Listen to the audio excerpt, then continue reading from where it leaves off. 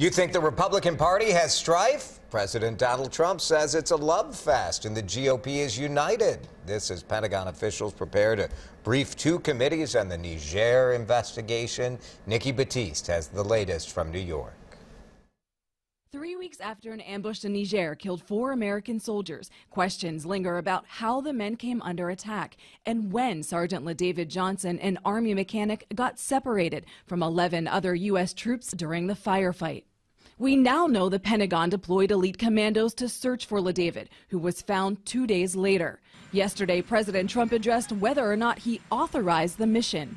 No, I didn't. Not specifically. I gave them authority to do what's right so that we win. That's the authority they have. The president's comments came as he left the White House and dismissed any Republican infighting. We have actually great unity in the Republican Party. For days, the president has been sparring with Senate Republicans Jeff Flake and Bob Corker.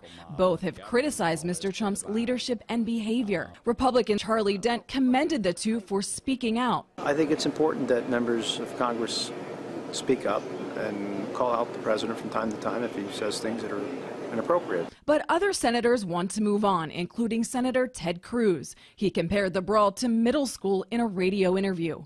I really don't care who passed a note to the cute girls in pigtails. Everyone shut up and do your job, is, is, is, my view. Asked by one reporter if he should be more civil, President Trump punched back, touting his own intelligence, noting he attended an Ivy League school and did well academically. Nikki Battiste, CBS News. Later today, President Trump is expected to deliver a major speech outlining his administration's policy on fighting the opioid crisis.